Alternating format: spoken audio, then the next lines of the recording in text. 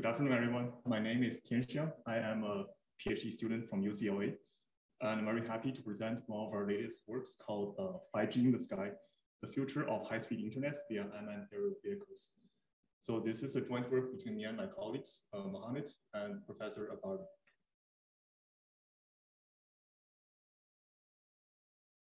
So in recent years, the growing demand for high data rate, low latency wireless applications have driven the demand for the fifth generation wireless technologies. There is also a growing demand for high network capacities, for example, in sports stadiums or in concerts, where you have tens of thousands of users which need wireless access. So people have turned their attention to um, new technology using 5G millimeter wave. So 5G millimeter wave operates in the frequency band above 24 gigahertz, and it ranges all the way up to 100 gigahertz. And this offers many times more available bandwidth compared to 4G LTE. And this provides new opportunity to support uh, high data rate multi-gigabit uh, wireless applications. So 5G millimeter wave also provides the possibility to support uh, new outdoor application scenarios. For example, uh, in a sports game where a huge number of fans wants to do either real-time video streaming or post content on social media. Another example is in a post-disaster scenario where you want to provide high data rate connectivity to, um, to uh, the first responders to assess the real-time uh, disaster situation. So despite all the possibilities of millimeter wave, uh, it also comes with many challenges. Uh, the previous presenters have already mentioned a number of them. So one of the biggest problems with millimeter wave is signal block, uh, signal blockage. And let me explain what I mean. Because it operates on a very high frequency, uh, the signal for millimeter wave is very directional and narrow. So this makes it very easily blocked by obstacles. So for example, if you have a crowd of people standing on the transmission path between the base station and the user device, uh, the human body attenuation causes a lot of degradation to the uh, performance of millimeter wave. And in another example, where you have a building with concrete walls, and this even worsens the performance. So then you may ask, uh, just how much attenuation is being caused by obstacle blockage? So based on prior work and our simulation results, uh, compared to the line of sight scenario, which is the one on the left, when you have obstacle blockage, the data rate drops close to zero. So this is one of the main reasons why millimeter wave has mainly been used for indoor close range scenarios. So now the question is, how can we solve the blockage problem in outdoor scenarios where we want to cover a large area of users? So to solve this problem, um, we propose in this paper GigSky. So GigSky is a system a UAV millimeter wave system designed to address the outdoor blockage problem of millimeter wave signal. In particular, we developed a frequency scanning antenna with low cost and low complexity to relay the signal from ground base stations uh, over an aerial relay to cover a number of users in a certain area. And our system works in the millimeter wave 5G uh, frequency band between 26.5 to 29.5 gigahertz. And this is a commercialized um, 5G millimeter wave band supported by the majority of carriers in the US. So before we dive into the details of our design, let's first take a look at what are the design goals we try to achieve using our GigSky system. So using an example scenario, if we want to cover a number of users uh, distributed in an area, and we want to enable connectivity between them and the remote base station, we can fly our GigSky system over the air to this area. So the first goal we wanted to achieve was we wanted to support multiple users simultaneously with a high data rate connectivity. And to do so, the UAV can relay the signal from a ground base station and generate multiple beams simultaneously to cover different areas on the ground. And our second goal is we want to do this with a low complexity and low cost system. So how do we achieve these design goals altogether? And as um, the previous presenters have already mentioned, one of the most common ways to do millimeter wave beamforming is to use what is called uh, phased array antennas.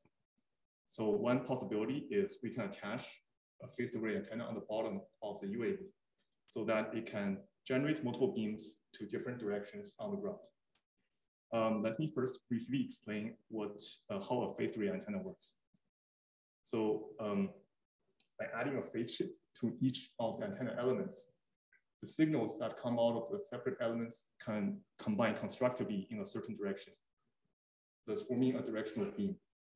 And this is done so by attaching what is known as a phase shifter to each one of the antenna elements. And the phase shifters are electronically controlled by a central controller. So in order to generate multiple beams simultaneously using the phase array antenna, we would have to attach uh, multiple RF, uh, RF chains and they have to be connected to each of the phase shifters. And the main problem with this design is that it is very complex and costly. So the next question is, uh, what else can we do to solve this problem? So in our uh, solution, we use what is called a phase a frequency scanning antenna, or FSA. So on a high level, uh, FSA is a passive structure that allows you to steer the direction of a beam in a certain, uh, the beam into a certain direction. And the direction of the uh, signal depends on the frequency of the input signal. So on a high level, uh, FSA allows you to do passive beamforming based on the change of the signal frequency. And it doesn't have, doesn't use any phase shifters or any active components. So it has a very low uh, complexity in system design. So now that we understand how FSA works, uh, what is an FSA? Let's take a look at its working principle. So the first question is how the beam is actually formed using an FSA structure. So as you can see in this figure on the bottom left corner, uh, when the input signal travels through the FSA structure, it leaks into the air through the radiating slots on the structure, which are the little concaves shown uh, on the figure here. And while the signal travels through the structure, it experiences a different amount of phase shift at each one of these slots. So thus the, the signals can form constructively in a certain direction, forming a beam. So it works in a similar way to a phase array antenna. You can regard the slots as an array of radiating elements. And with a different phase shift, you can form a directional beam. So this is how the beam is formed for FSA. And this is done passively as the signal travels through the structure of the antenna. So the second question is, um, how do you do, how do you steer the direction of the beam in different directions? So as we mentioned earlier, the direction of the beam depends on the frequency of the signal. And the, re and the reason behind this is for different frequencies, the signal have a different wavelengths. So when the signal travels through the structure, it will experience a different amount of phase shift at each of the radiating slots. Thus, it will have a different um, radiating direction for the beam. So what this means is if you have an input signal with frequency f1, it will be uh, it will form a beam in a specific direction, theta one, for example. And if you have another input signal with a different frequency f2, it will form a beam in a different direction.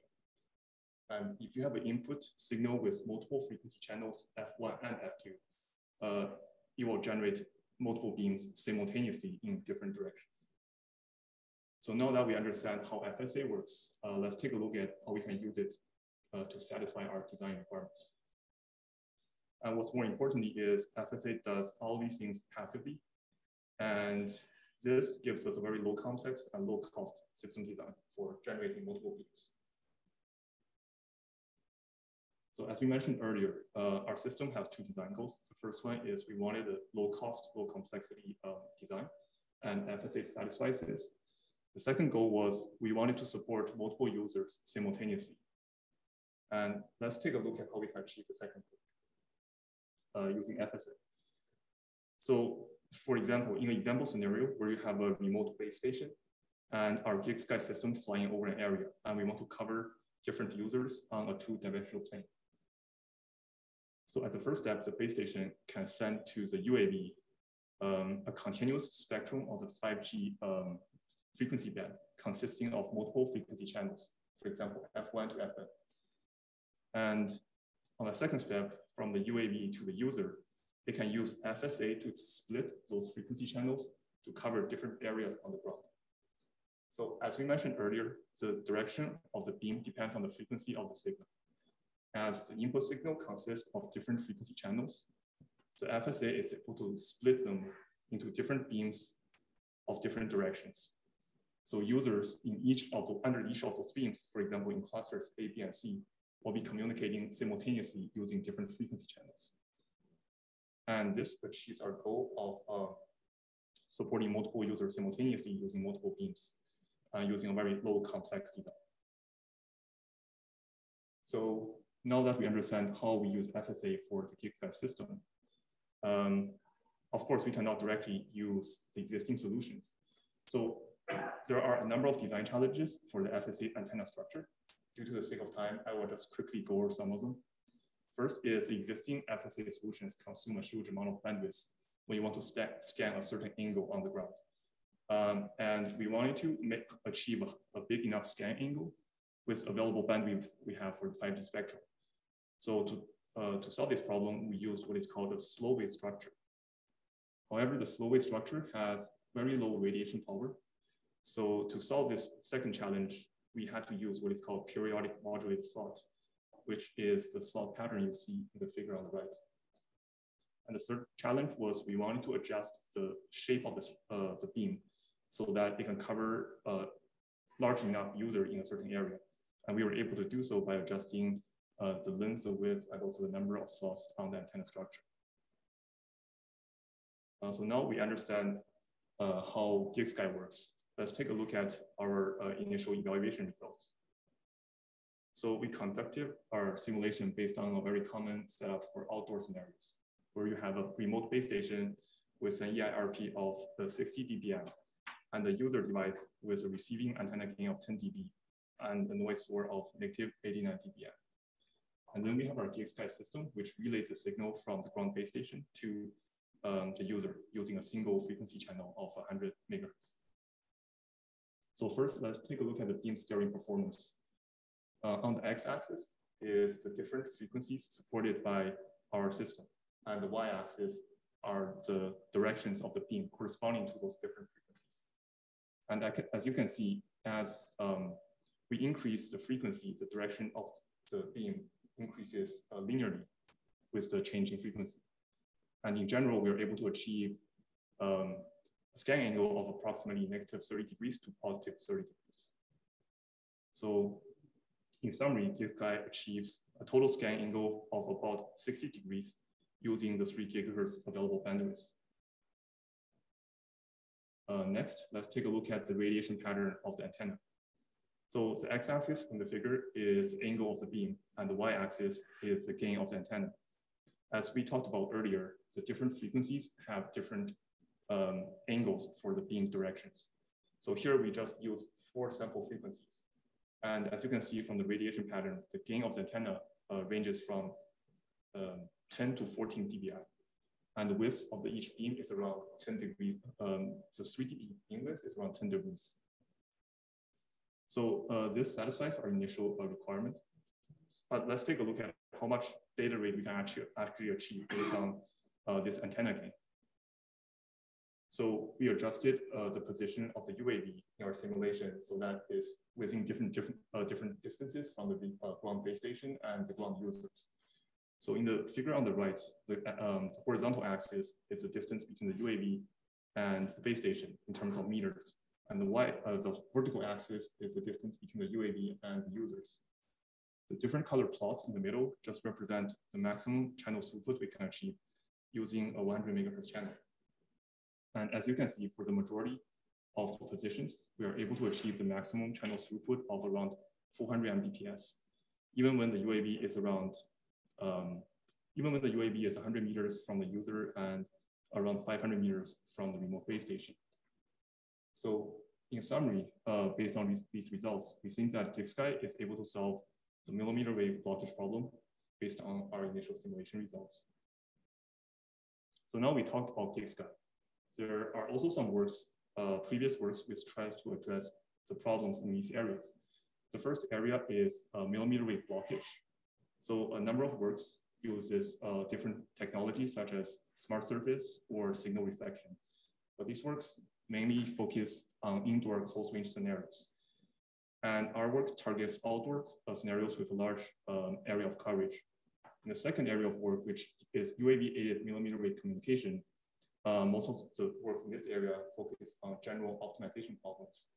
And among the number, very few limited number of work which actually test uh, uh, or implement the actual working system, they assume the use of phased array antennas. And as we mentioned earlier, it is very costly and um, complex in terms of design and not very suitable to be used on a UAV system. So in summary, in this work, we present GIGS, uh, which is an aerial relay system to solve the 5G millimeter wave blockage problem in outdoor scenarios. And we developed a low cost, low complexity uh, FSA system. And through simulations, our GigSky system enables around 400 Mbps to multiple users simultaneously in around 30 different frequency channels. And that concludes my presentation. Thank you very much.